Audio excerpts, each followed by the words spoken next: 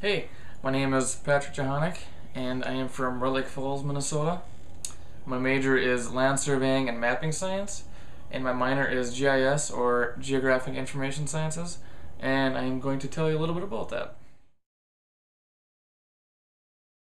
Well, land surveyors do um, cadastral, or otherwise known as boundary surveys, um, topographic surveys, um, as-built surveys, and they do uh, construction staking.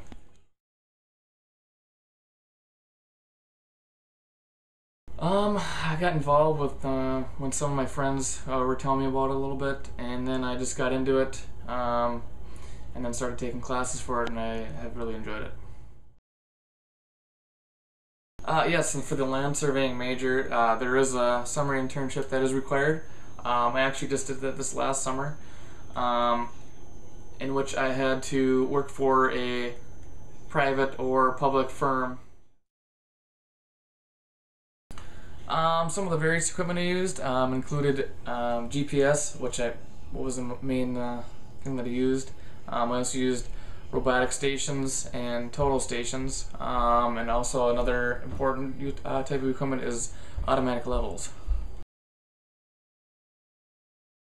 Yes, um, one of the programs that we use is AutoCAD Civil 3D, and that's used for planning and designing for projects.